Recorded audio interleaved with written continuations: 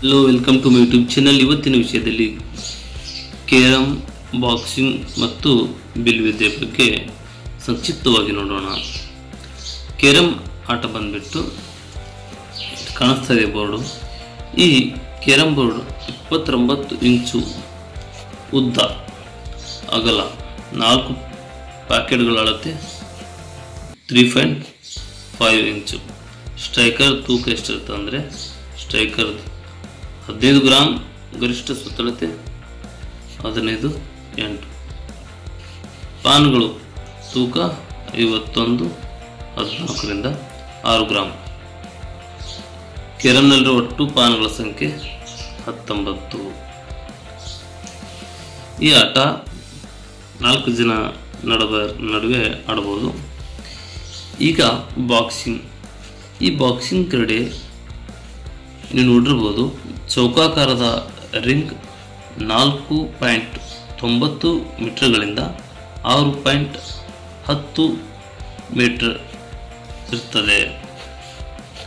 ಆಟಗಾರ ಸಂಖ್ಯೆ ಒಬ್ಬರು, ಸಮಯ ಏಳು ನಿಮಿಷದಾಗಿರುತ್ತೆ ಗೆಲುವು ಪಂಚಿಂಗ್ ಅಂದರೆ ಹನ್ನೆರಡು ಅಂಕಗಳು.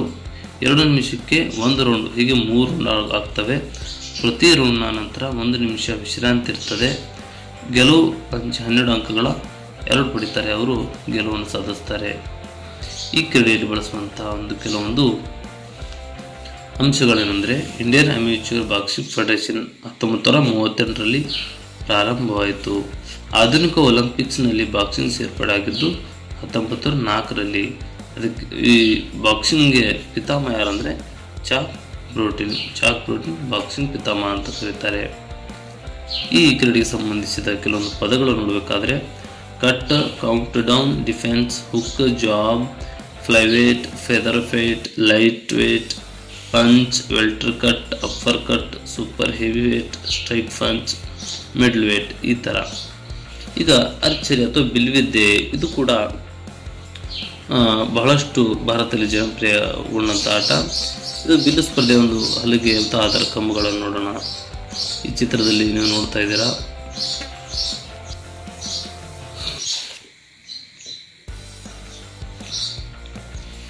ಈಗ ಪೋಲೋ ಆಟವನ್ನು ನೋಡೋಣ.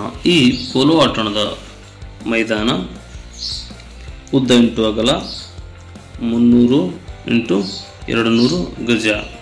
ಅಂದರೆ ಎರಡುನೂರ ಎಪ್ಪತ್ನಾಲ್ಕು ಪಾಯಿಂಟ್ ಮೂವತ್ತೆರಡು ಮೀಟರ್ನಿಂದ ನೂರ ಎಂಬತ್ತೆರಡು ಪಾಯಿಂಟ್ ಎಂಬತ್ತೆಂಟು ಮೀಟರ್ ಅಗಲ ಈ ಥರನಾಗಿರುತ್ತೆ ಇದರ ಗೋಲು ಕಂಬ, ಕಂಬದ ಎತ್ತರ ಹತ್ತಡಿ, ದಾಂಡು ನಲವತ್ತೆರಡು ಅಂಗುಲ ಉದ್ದ. ಆಮೇಲೆ ಚೆಂಡಿನ ತೂಕ ಅಂದರೆ ನಲವತ್ತೊಂದು ರಿಂದ ನಲವತ್ತೊಂದು ಎರಡು ಔನ್ಸ್ ವ್ಯಾಸ ಮೂವತ್ತೊಂದು ಬೈ ನಾಲ್ಕು ಅಂಗುಲ. ಆಟಗಾರರ ಸಂಖ್ಯೆ ಕುದುರೆ ಸವಾರರು ನಾಲ್ಕು ಜನರು ಆಟದ ಸಮಯ ಒಂದು ಸುತ್ತಿಗೆ ಏಳುವರೆ ನಿಮಿಷ. ಹೀಗೆ ಒಟ್ಟು ಎಂಟು ಸುತ್ತುಗಳು. ಪ್ರತಿ ಸುತ್ತಿನ ನಂತರ ಮೂರು ನಿಮಿಷ ವಿರಾಮ ಇರುತ್ತದೆ. ಈ ಪೋಲು ಆಟ. ಇದು ಬಂದ್ಬಿಟ್ಟು ವಾಟರ್ ಫೋಲೋ ಈ ವಾಟರ್ ಫೋಲೋ ಅಂಕಣದ ರಚನೆ ಮತ್ತು ಅಳತೆ ನೋಡ್ರಿ, ಮೂರು ಮೀಟರ್ ವಾಟರ್ ಫೋಲೋ ಆಟಕ್ಕೆ ನಿಗದಿಸಿದ ಸಮಯ ಐದು ನಿಮಿಷ ಆಡ್ತಾರೆ, ಮತ್ತು ಐದು ನಿಮಿಷ ಐದು ಟೋಟಲ್ ಇಪ್ಪತ್ತು ನಿಮಿಷ. ಆಮೇಲೆ ಐದು ನಿಮಿಷ ನಾಲ್ಕು ಅವಧಿಗಳನ್ನು ಇರುತ್ತೆ. ವಾಟರ್ ಫೋಲೋ ತಂಡದ ಆಟಗಾರರ ಸಂಖ್ಯೆ ಏಳು ಜನ ಆಡ್ತಾರೆ ಪ್ಲಸ್ ತ್ರೀ ಟೋಟಲ್ ಹತ್ತು ಜನರು. ವಾಟರ್ ಫೋಲ್ನ ಆಡುವಂಥ ಚೆಂಡಿನ ತೂಕ ನಾಲ್ಕುನೂರಿಂದ ನಾಲ್ಕುನೂರ ಐವತ್ತು ಗ್ರಾಮ್ ಆಮೇಲೆ ವಾಟರ್ ಫ್ಲೋ ಚೆಂಡಿನ ವ್ಯಾಸ ಎಷ್ಟಂದರೆ ಅರವತ್ತೆಂಟರಿಂದ ಎಪ್ಪತ್ತೊಂದು ಸೆಂಟಿಮೀಟರ್ ಅದರ ವ್ಯಾಸ. ವಾಟರ್ ಫ್ಲೋ ಆಟದಲ್ಲಿ ಗೋಲ್ ಕೀಪರ್ ಧರಿಸುವಂಥ ಟೋಪಿಯ ಬಣ್ಣ ಅಂದರೆ ಕೆಂಪು ಟೋಪಿಯನ್ನು ಧರಿಸಿರ್ತಾರೆ. ಈ ವಾಟರ್ ಪೋಲೋ ಒಲಿಂಪಿಕ್ಸ್ನಲ್ಲಿ ಹತ್ತೊಂಬತ್ತು ನೂರಲ್ಲಿ ಸೇರಿಸಲಾಯಿತು. ಆಮೇಲೆ ವಾಟರ್ ಪೋಲ್ನ ಗೋಲ್ ಕೀಪರ್ ಎಷ್ಟು ಜನ ಇರ್ತಾರೆ ಅಂದರೆ ತೀರ್ಪುಗಾರರು ಇಬ್ಬರು ಗೋಲ್ ಕೀಪರ್ ತೀರ್ಪುಗಾರರು. ನೀರಿನಲ್ಲಿ ಆಟ ಆಡುವ ಆಟ ಯಾವುದಂದರೆ ವಾಟರ್ ಫಾಲು ನೀರಿನಲ್ಲಿ ಆಡುವಂಥ ಆಟ ಇದು.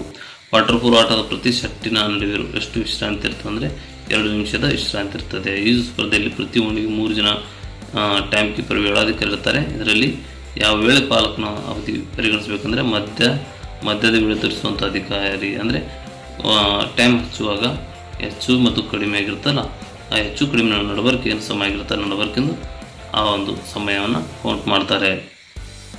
ಈ ಆಟದಲ್ಲಿ ಬಾಲನ್ನು ಎರಡೂ ಕೈಗಳಿಂದ ಎಸೆಯುವ ಹಾಗಿಲ್ಲ. ಹಾಗೂ ನಿಂತಾಗ ನಡೆಯುವಾಗ ತಲೆಯ ಮೇಲಿಂದ ಹಿಡಿಯಬಾರದು. ಗೋಲು ಕಂಬದಿಂದ ಒಂದು ಮೀಟರ್ ಹತ್ತಿರಕ್ಕೆ ಹೋಗಬಾರದು. ಅಲ್ಲದೆ ಅದರಲ್ಲಿ ಆಟಗಾರರಿಗೆ ತೊಂದರೆ ಕೊಡಬಾರದು. ಒದೆಯುವುದು ಜಗ್ಗುವುದು ತಳ್ಳುವುದು ಮುಂತಾದ ನಮ್ಮ ವಿಡಿಯೋ ಇಷ್ಟವಾದರೆ ನಮ್ಮ ಚಾನಲ್ ಸಬ್ಸ್ಕ್ರೈಬ್ ಮಾಡಿ. ಧನ್ಯವಾದಗಳು.